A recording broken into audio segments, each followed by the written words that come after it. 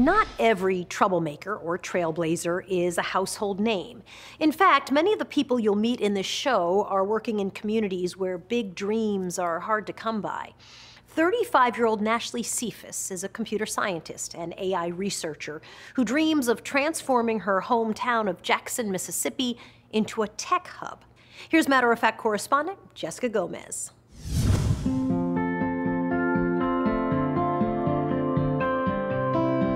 Whenever I come in town, it just reminds me of, you know, my upbringing, growing up in a household full of women. That's where it all started. A visit to her hometown of Jackson, Mississippi. Hello. For 36 year old Nashlie Sephus, a stop at her grandmother's house, always on the agenda. I used to always play Tetris and Super Mario Brothers, mm-hmm. and you would always win. My grandmother, she actually was the help um, in a lot of homes of wealthy white families. That was a thing to do back then. My great grandmother did the same. Nashlie's mother, an accountant at the post office. My mom, you know, she made sure my sister and I every summer we had something to do. You couldn't just sit at home and play video games while she was at work. It was at a summer camp in eighth grade that Nashlie was exposed to computer science. And that changed my life. And I knew from that on, I was going around saying, oh, I'm a major in computer engineering. People were like, what? When I entered into the field, um, I didn't know that, you know, I was probably going to be the only one who looked like me in a lot of the classrooms uh, in, in my undergrad and graduate career. It was after earning her PhD at Georgia Tech that Nashlie was asked to be part of a startup. I'm really excited because we can pick up with the VR. She brought in childhood friend Ivan Walker. I thought I would just work in manufacturing or warehouse like my dad. Hey, mama. The phone came. But Ivan's childhood interest in technology led him to a master's in computer engineering from Jackson State. Afterwards, moving to Atlanta. Growing up, I thought I needed to leave. Uh, that was the narrative for a successful black person. Okay, and now the app has analyzed the photo. Away from home, Ivan and Nashlie helping to create visual recognition technology. The startup, a success. Amazon acquiring the company and hiring both of them. That was already beyond my dreams. I mean, I still think back and like, did that actually happen? But Nashlie always had her sights set on her hometown of Jackson, Mississippi. Even when I first left Jackson to uh, get, you know, my degree in computer engineering, I just wanted to help people. We're going to talk about easy video editing with AI. And that's what she did in 2018, creating a nonprofit in Jackson called The Bean Path. And this is just an example. With help from volunteers, Nashlie set up shop at local libraries, answering all questions tech related. She and Ivan commuting on the weekends from their jobs at Amazon. We do individual consultations with community people who want to come in, with businesses, with startups, with pretty much anyone who has a tech question. But it's an intricate part of the process. Melissa Bloom owns a medical billing company, but had an idea for a startup. They basically gave me what they call a technical roadmap. Again, I came into this with just this great idea, but I had no idea how to execute it. It really made me feel good and confident that I could push forward with the application. What'd you see? Um, a force field. The Bean Path eventually raising enough money to expand its programming how many different setups do we have? And fund others like Mark Leffler's robotics team. TGT Power is uh, target power. 13 year old Chris Johnson is the lead coder. It's robotics that helps me cool down. That's my quiet spot. There are so many things and avenues in tech that just people just don't even know about. There are households in Silicon Valley where things like NFTs and metaverse and artificial intelligence, cryptocurrency, they're household names, uh, whereas you have people here who have no idea what those things are.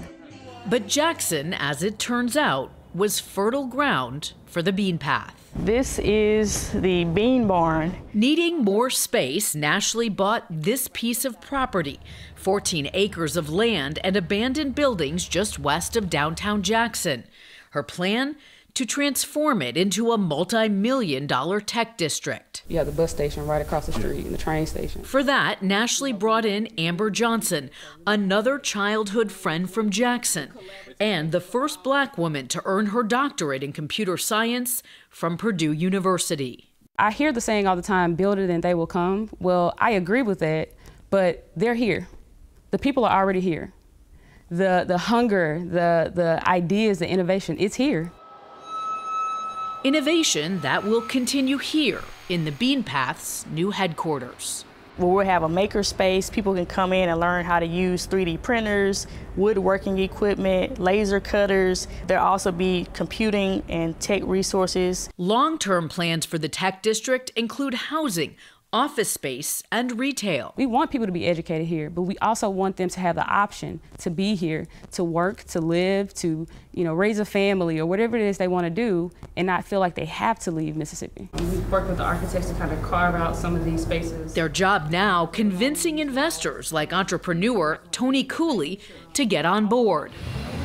Cooley's manufacturing company, she says, in dire need of a tech-savvy workforce. I need an opportunity to automate my facility more so that I can stay relevant in the automotive space. I may be small, but there are some advantages that I would have if I had exposure to Nashlie's uh, cohort, if you will, of, of young folks who will come through that facility.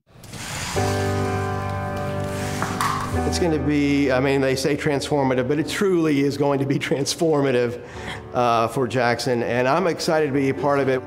Chris Johnson is excited too for a new place to create. When you finally build it, it's like, wow, I finally did it. And then you have more confidence in yourself. Like when you go to a math test or something, like, man, I can do this, I can ace this. I built an entire computer over here. I mean, like, come on now. I can't even begin to imagine when people get unlocked in that way, how they'll start contributing. Exposure is key. That was the key for me. I look back and I think, how many other kids in my class in eighth grade, if they went to that same camp, may also become engineers today because they had that same exposure. Myself, including Ashley and others here, are not one-offs. We know that there are other kids, we know there are other adults here who just need a, need a chance. Because while we're models of success, we're not the goal. Until I see a black Steve Jobs or a black Bill Gates or a black Elon Musk, I won't be satisfied. So I want them to know that, ironically, the sky's the limit. you can put it right in there and just dig your hole. The sky's the limit, Nashlie says, especially here in Jackson, where the roots are strong. We're very strong because of the community and because of the people. We have a school district uh, full of brilliant young minds. Um, they are our future. We want to give them every opportunity as possible to see the city become what we want it to become. In Jackson, Mississippi, for the listening tour, I'm Jessica Gomez.